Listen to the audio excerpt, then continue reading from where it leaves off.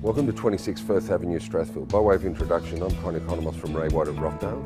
This is a really tasteful grand home. It was built in 1939. The home features polished floorboards, renovated bathroom, renovated kitchen, spacious living and dining areas, and it's a beautiful two-storey home set on a beautiful wide 803 square metre corner block of land. What's great about the location here is that the property is situated in a beautiful quiet street and Strathfield is an eclectic hub. It's got beautiful restaurants. There's a real cultural mix around here. If I could describe this home in one sentence, I'd say it's got plenty of space, it's got heaps of character, and it's a wonderful family home.